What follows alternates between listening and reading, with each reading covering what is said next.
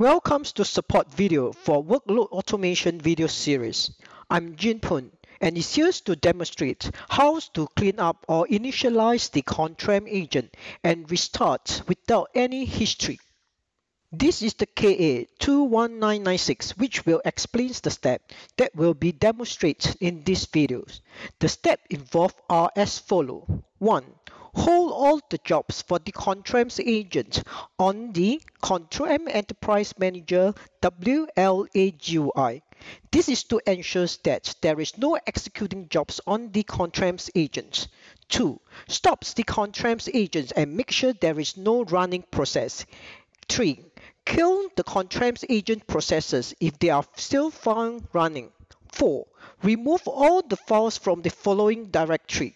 Backup, daily log, logs, on step, output or sysout, PID, proc ID, proc log, status, temp.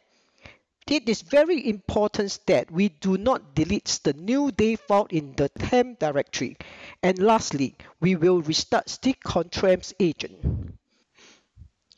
Let's start the demonstration by running a job that will sleep for 30 seconds from the monitoring domain to show the control M agent's running process. This job will be submitted to the agent for execution.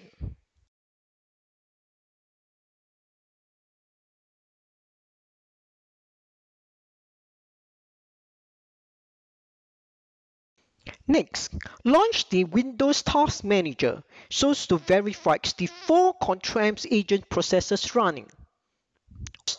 P underscore CTM AM. Next, P underscore CTM ATW. Third, P underscore CTM AT. And lastly, we have Underscore CTM AG. Now, we will proceed with the step 1 to put all the jobs running on this Control-M's agent on hold using the WLA GUI. Next, stop the Control-M's agent services in the Windows Services console. Step 3 ensures that there is no Control-M's agent processes running using the Windows Task Manager, if found, to end the running processes. This slide shows the Control-M's agent processes running on a Unix machine, which are similar to those running on the Windows platform.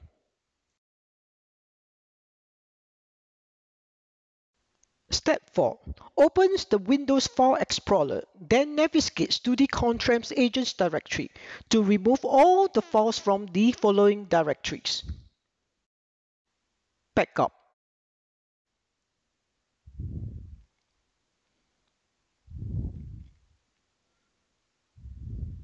Daily log.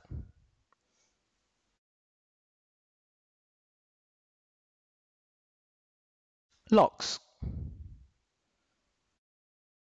On step. Output. PID proc ID proc log. Status.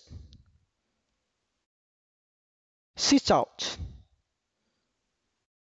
temp Please do note that we do not delete the new day files in this temp directory. After deleting the files from the mentioned Control-M's agents directory, start the Control-M's agent services from the Windows Service console. Next, verify that the Control-M's agent processes is running using the Windows Task Manager. Now, launch the Control-M Configurations Manager to ensure that the Control-M's agent is available. Lastly, we will rerun the Control-M jobs from the WLA GUI and make sure that the job will complete successfully.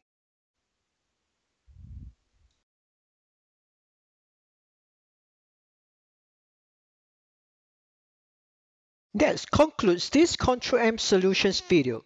Please see our knowledge base and YouTube channel for more videos like this. Thank you.